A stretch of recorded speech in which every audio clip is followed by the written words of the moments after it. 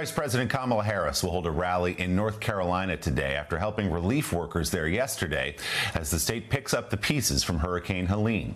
Former President Trump, meanwhile, rallied this weekend in some traditionally blue states. NBC's Vaughn Hillyard is traveling with the former president. Vaughn, good morning.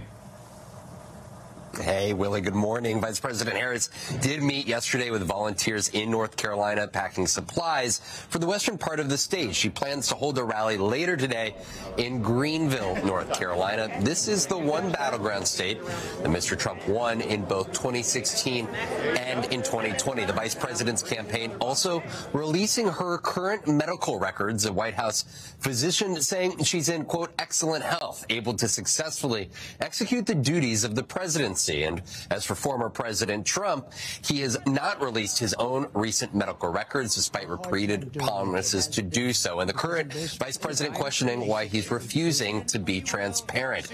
As for the former president, thousands came out to see him last night just down the road from here in Coachella. Yes, uniquely coming to California for a major weekend rally with less than a month until Election Day. Trump is using the deep blue state as a backdrop to draw contrast with Vice President Harris, calling her home state elections, quote, corrupt. He also visited blue state Colorado this week and will hold a rally in the heart of Manhattan at Madison Square Garden later this month, all to make the case that these Democratic run places would be better off under Republican control. Mr. Trump, he'll be in Arizona for another rally here later today. Willie?